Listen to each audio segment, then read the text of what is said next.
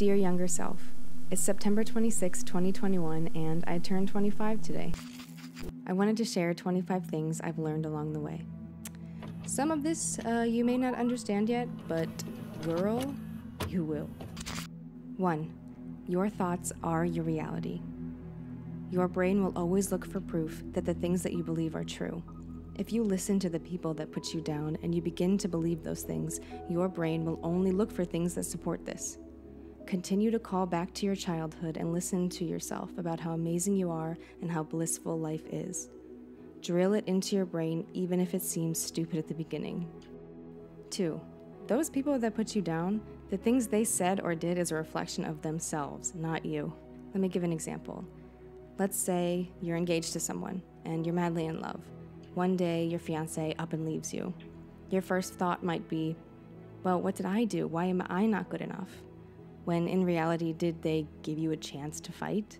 Did they have open communication to even say there was a problem? The way people treat you is a statement about them as humans, it's not a statement about you. 3. Don't be the person that says no to you. Let others do that. 4. Half assing things is better than no assing things. 5. Things take time. Don't rush the process. I remember when I first started cooking, instead of grilling things on a lower temperature for a longer time, like the recipe intended, I thought it would be faster to cook it all at a higher temperature for a shorter time. And while it was faster, I always ended up with burnt food. 6. The disrespect is the closure. Don't continue fighting for closure if someone doesn't even want to give you the time of day.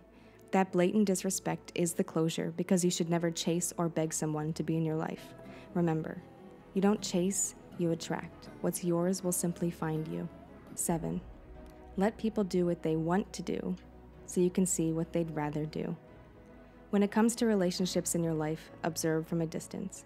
It's always important to step away to gain perspective. Remember, if they wanted to, they would. 8. The antidote to anxiety is action. I know it seems much more complex than that, but exposure therapy is the best way to get over a fear. Face it head on. You, can handle much more than you think. Right Side tip start taking cold showers, it helps with mental endurance. 9. Depression is about the past, anxiety is about the future, two of which don't exist right now. The only way to reach your higher self is to be present, mindful, and grateful. 10. You never lose, you either win or you learn. When you make a so called mistake, you only learn what you are not and who you don't want to be. 11. Make sure your actions align with your values. Every choice you make has an impact, no matter how small. Be self reflective and self critical when it comes to every choice you make. Ask yourself, what is my intention behind this? If you make this a habit, you'll be the best version of yourself. 12. When you get irritated when someone refuses to change, you also refuse to change. Start making boundaries with people when you find yourself frustrated at their lack of reflection and change. 13. You must detach from the outer world to reach your highest state of being. You can't give your power away to people, places, and things.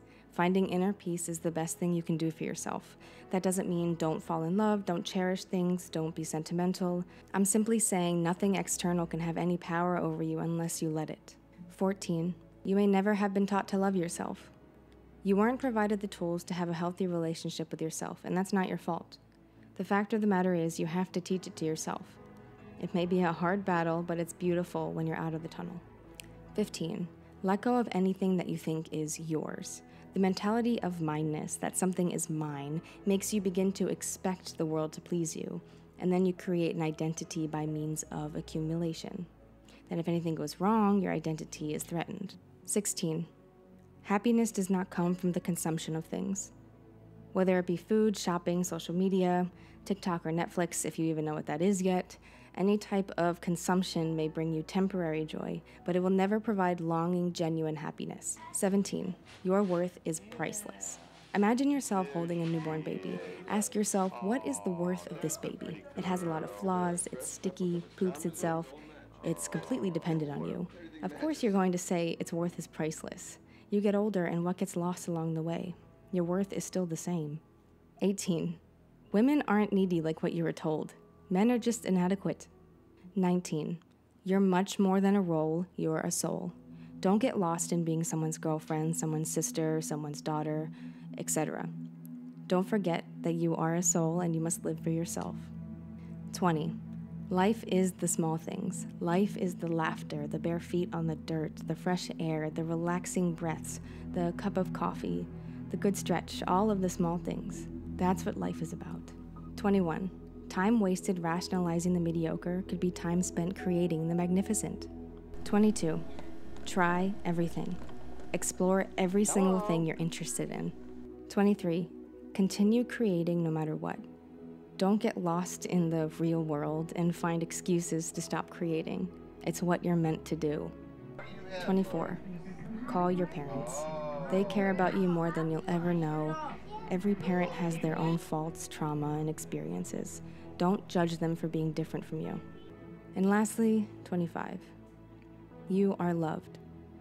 This becomes a mantra in your life. You even have it written on your back windshield so everyone that sees it knows that they're loved too. I am so grateful for all the years before my birthday today, and I am grateful for all that is to come. However, I choose to be present along the way. Sincerely, you.